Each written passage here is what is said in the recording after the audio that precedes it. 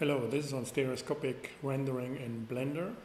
If you want to have a real space experience of your architectural model, this is the most simplest way how to do it. So we prepared a, a small model. It's called Fragment Blend. You find the link below in GitHub.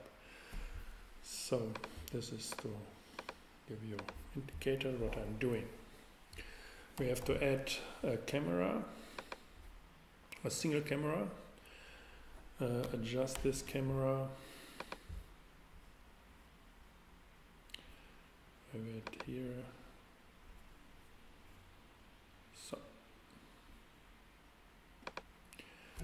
here we are.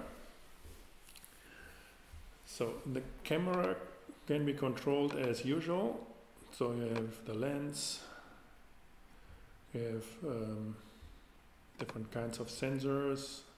We have depth of field and so on. Play around or a certain focus and so on. Play around if you're interested in that. It's not our interest here. So the destination is uh, with this uh, scene shield here. It's uh, if you want to render animate or an animation, it's uh, just the same. Check the dimensions. In this case, we have an HDMI 1K uh, picture with 50% resolution to uh, fasten up the render time. So for animation, you have to specify the frames here. That's it. Aspect ratio. Um, and sampling is a quality. Here is film not important but you need the output.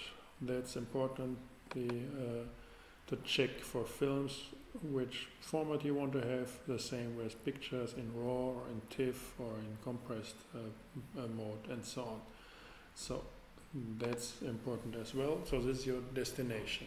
But this is the usual way whatever picture you render, you have to specify these things.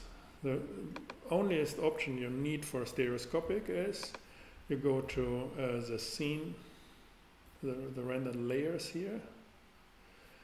You have the option views, check it, and here now you have two uh, overlay of a red and then cyan uh, rendering, which gives you the uh, stereoscopic uh, effect. That's the only option you need, you need. If you have multi-view, then you have to define multiple cameras by yourself, and uh, this gets a little more complicated. This is a straightforward and simple way to get uh, this effect, and it's working live. So you see, it's impressively simple. So if you want to have a rendering, go here and uh, do the rendering. It starts with uh, the red eye.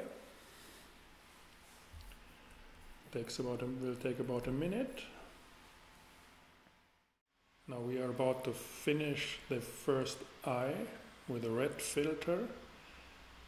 We used one minute for that. Now we have a second rendering with cyan in an overlay. It will take another minute.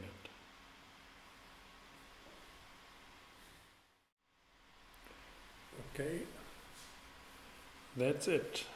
Here we are with a properly rendered stereoscopic uh, image of our model.